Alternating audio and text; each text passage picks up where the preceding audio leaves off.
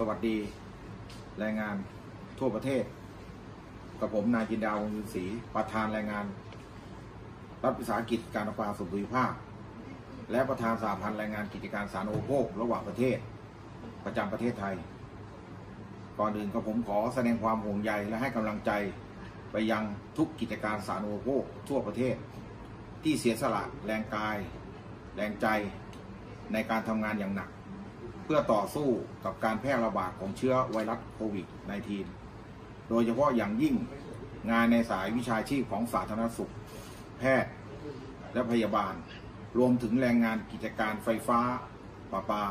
และกิจการสาธารณูปอื่น ๆ ที่ยังคงมุ่งมั่น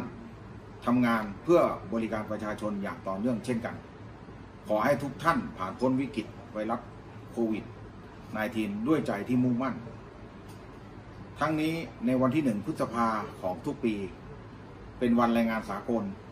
เป็นโอกาสที่พวกเราและพี่น้องแรงงานที่จะรวมตัวกันจัดกิจกรรม เพื่อเฉลิมฉลองในโอกาสวันแรงงานสากลร่วมกัน แต่ถึงแม้ปีนี้พวกเราไม่สามารถที่จะจัดกิจกรรมการขับเคลื่อนแรงงานด้วยกันได้ด้วยวิกฤตโควิด -19 แต่เราก็ยังคงยืนหยัดและยึดมั่นในอุดมการ เพื่อให้พี่น้อง ที่มีคุณภาพชีวิตที่ดี และการทำงานที่ดี และมีสวัสดิการที่ดี